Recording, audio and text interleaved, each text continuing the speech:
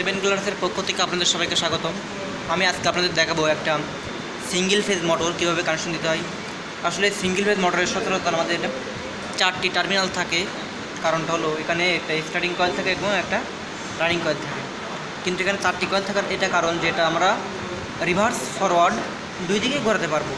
কারণ single phase motor আমরা বিভিন্ন কাজের জন্য এটা ক্লোকাইজ এবং ইন্টু ক্লোকাইজ দুদিকে ঘোরানোর প্রয়োজন হয়। তার জন্য মূলত এখানে চারটি তার বের করা থাকে। মানে দুইটা কয়েলের মোট চারটি টার্মিনাল এখানে বের করা থাকে। প্রথমত আমাদের যে এখানে চারটি টার্মিনাল দেখছেন, এই চারটি টার্মিনাল আমরা অ্যাভোমিটার অথবা সিরিজ টেস্ট বোর্ড দিয়ে আমরা চেক করে নেব। আমরা এখানে আপনাদের উভয়টি দেখাবো কীভাবে সিরিজ টেস্ট বোর্ড এবং অ্যাভোমিটার অ্যাভোমিটার দিয়ে এটি টেস্ট করতে হয়। চলুন কথা না বাড়ি দেখে আসি, এটা কানেকশন এবং এটা কীভাবে টেস্ট করতে হয় বিস্তারিত। আপনারা এখানে দেখতে পাচ্ছেন একটা ক্লাম টাইপ মিটার। আসলে এটা ক্লাম টাইপ বলা কারণ এটা এটা, এখানে একটা ক্লাম থাকে, তার জন্য এটা ক্লাম টাইপ বলে।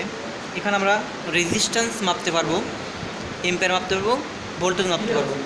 আপনাদের যদি ক্লাম মিটার সম্পর্কে ধারণা না থেকে থাকে, আমার অন্য একটি ভিডিও আছে, সেটা আপনারা দেখতে পারেন। এখন আমরা এখানে যে কানেক্টর প্রুফ যে দুটো দেখছেন, এটা দিয়ে আমরা এখানে কানেকশন দিয়ে নিব। তারপর আমরা মোটরের যে কোনটা রানিং কয়েল এবং কোনটা স্টার্টিং কয়েল সেটা ভেবে নেব। একটা কথা বলে নিই, এখানে যেটা যে কয়েল দুইটার রেজিস্ট্যান্স বেশি আসবে সেটা এখানকার স্টার্টিং কয়েল এবং যেটা রেজিস্ট্যান্স কম আসবে সেটা রানিং কয়েল এখানে আমাদের যে এটা রেজিস্ট্যান্স মাপতে গেলে আমাদের এটা এখানে সেট করতে হবে। ওমস সেট করতে হবে আমরা এখানে টু কিলো ওমসে সেট করব, কারণ এখানে ওমস বেশি নেয় না, খুব কম ওমস নেয়। এখন আমরা এটা মাখিয়ে থাকব দেখুন। এখানে টার্মিনাল তুললাম এবং এখানে একটা দেখুন। শো করতেছে না।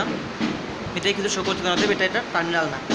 অপরটায় দেখি, এটাও কিছু শো করে না তবে এটা একটা টার্মিনাল না।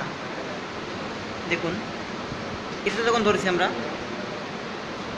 এই যে ধরেছি এখন, ধরলে দেখুন মিটার এখানে শো করতেছে। এখানে আসতেছে রেজিস্ট্যান্স এগারো বারো, এগারো এরকম আসতেছে।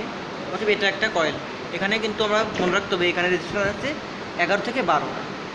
অপর দুইটা আমরা মেপে দেখব। এখানে কত রেজিস্ট্যান্স আছে দেখুন। এখানে রেজিস্ট্যান্স আসতেছে প্রায় সেম রেজিস্ট্যান্স খুবই একটু কম কম কম কম বেশি না।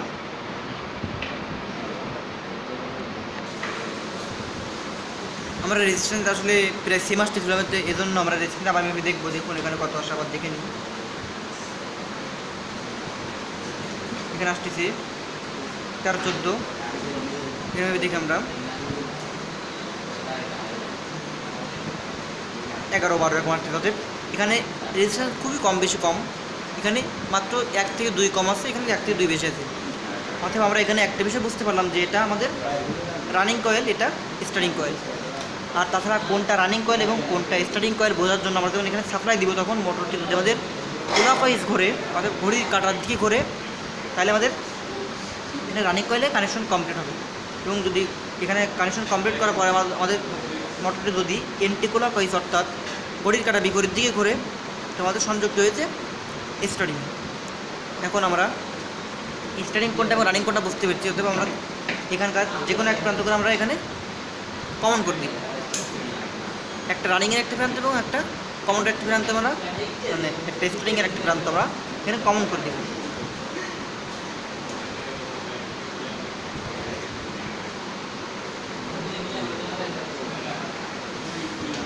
এখানে আমাদের বিদ্যুৎ সাপ্লাই কমপ্লিট করার পরে, আসলে এখানে আপনারা যখন বিদ্যুৎ সাপ্লাই দিবেন তখন এখানে কেবলটি একটু মোটা মানের কেবল ব্যবহার করবেন। আমি আপনাদের জাস্ট দেখানোর জন্য এখানে একটা সিম্পল একটা কেবল ব্যবহার করে দেখাচ্ছি। আপনারা কানেকশন দেওয়ার সময় অবশ্যই এখানে মোটা কয়েল ব্যবহার করবেন।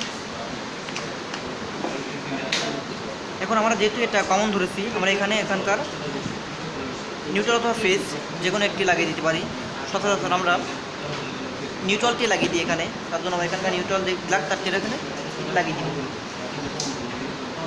নিরাপত্তার জন্য অবশ্যই এখানে আমাদের টেপিং করে নিতে হবে। টিফিন করে না নিলে আমাদের দুর্ঘটনা ঘটতে পারে।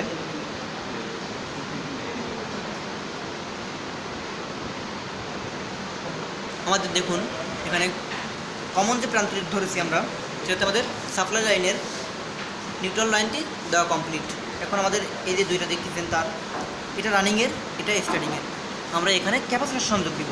আসলে মোটরটি এখানে মোটরের সাইজ অনুযায়ী আমাদের ক্যাপাসিটার দিতে হয়। এখানে আমরা একটা ত্রিশ মাইক্রোফ্র্যাঙ্কের একটা ক্যাপাসিটার ব্যবহার করছি আপনারা এখানে চাইলে বিশ, পনেরো, পঁচিশ, এর মধ্যে যে কোনো একটা ক্যাপাসিটার এখানে ব্যবহার করতে পারবেন। এখানে তারটা একটু খাটো আছে জন্য আমরা এখানে একটু লম্বা একটা কেবল সংযোগ দিয়ে নিব সুবিধার্থে। আমরা জাস্ট এখানে একটা কেবল সংযোগ দিয়ে একটু এখানকার তারটা একটু লম্বা করে নিলাম।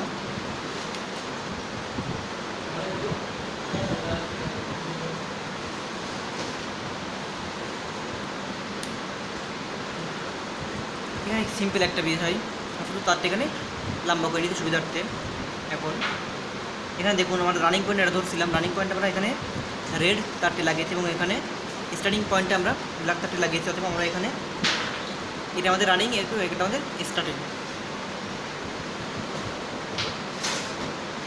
আমরা এখন এই তার দুইটা আমাদের ক্যাপাসিটার লাগিয়ে নিব। আমরা এই তার দুইটার দুই মাথা। ক্যাপাসিটার যে কোনো দুই পাশে লাগাতে পারি। দেখুন, এখানে দেখুন আমরা, শুধুমাত্র এখানে ক্যাপাসিটারের যে কোনো দুই প্রান্তে আমরা চাদরে লাগাতে পারি, সেখানে এগুলো লাগিয়ে নিয়েছি। এখন একটা কথা বলিনি আমরা যখন এই ফেস তারটা রানিংয়ে সংযোগ দিব, দিলে এটা কোলাকাইজ ধরা আরম্ভ করবে এবং যখন এটা স্টার্টিংয়ে দিব, তখন এটা এন্টিকোলাইজ ধরা আরম্ভ করবে। আর একটা কথা বলে নিই, আমরা যখন মোটর কানেকশন দিব, তখন এখানে মোটরের যান্ত্রিক ত্রুটি থাকতে পারে। তার জন্য আমরা এখানে এই যে ক্লাম টাইপ মিটার দেখছেন মিটার দিয়ে আমরা এম্পিয়ার মেপে নিই এম্পিয়ার মাপতে হবে না যদি এখানে বেশি এম্পিয়ার নিয়ে নেয় মোটরটি জ্বলে যেতে পারে।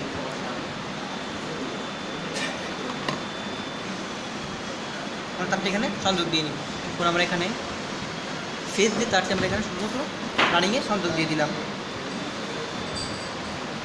এখন আমরা যখন এখানে বিদ্যুৎ সাপ্লাই দিব মোটরটি ঘোরা আরম্ভ করবে, কিন্তু তার আগে আমাদের এখানে ক্লামটি মেটা দিয়ে এটা মেপে দেখতে হবে কত বিদ্যুৎ এখানে আসলে আপনাদের একটি কথা বল- বলতে ভুলে গিয়েছিলাম আসলে এই মোটরটি সিঙ্গেল মোটর কিন্তু এটা রিভার্স ফরওয়ার্ড দুই দিকে ঘোরানো যায়, তাই এটার কোনটা রানিং কোনটা সেটিং এটা নির্দিষ্ট করে রাখা হয় না। তার জন্য আমরা এটা যখন এটা দিব মোটরটা যে কোনো একদিকে ঘুরতে পারে। এবং যখন আমরা টার্মিনালটা চেঞ্জ করে দেবো মোটরটা ঠিক অপর দিকে সমপরিমাণ গতি নিয়ে ঘুরবে। এখানে কোনো সমস্যা করবে না। চলুন দেখেছি মোটরটা আমাদের কোন দিকে ঘুরে অর্থাৎ আমার এখানে এই যে এম্পিয়ার মিটার দেখছেন ক্লাম টাইপ এম্পিয়ার মিটার এটা দিয়ে আমরা এম্পিয়ার মেপে নিব।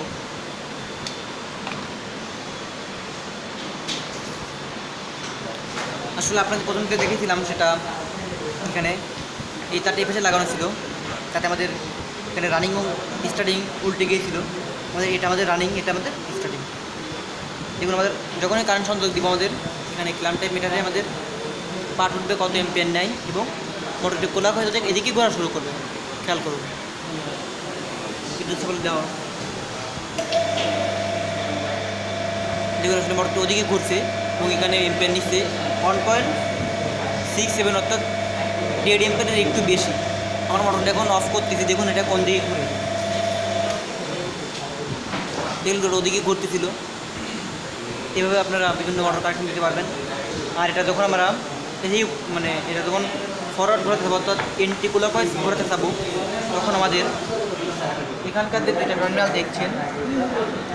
আমরা এখানে প্রথম এই দুটো শর্ট করতে আমরা এই দুটো শর্ট না করে আমরা এ পাশের দুটো শর্ট করে দিব। এ পাশের দুটো শর্ট করে আমরা এখানে দেবো কমন এবং এখানে ক্যাপাসিটার লাগিয়ে দিব। এখানে ক্যাপাসিটার লাগিয়ে আমরা যখনই এসি সাপ্লাই দিব, তখন আমাদের মোটরটি এন্টিকোলা গড়ি কাটা বিপরীত দিকে ইজিলি ঘুরতে পারবে। হয়তো আপনারা বুঝতে পারছেন এটা কীভাবে কাজ করে। আমার ভিডিও দেখার জন্য ধন্যবাদ। আপনাদের যদি কোনো প্রশ্ন থেকে থাকে, কমেন্টে প্রশ্ন করুন এবং আমার ভিডিও যদি লাইক ভালো লেগে থাকে লাইক দিন শেয়ার করুন এবং এরকম আরও ভিডিও পেতে আমার চ্যানেলটি সাবস্ক্রাইব করুন। ধন্যবাদ সবাইকে।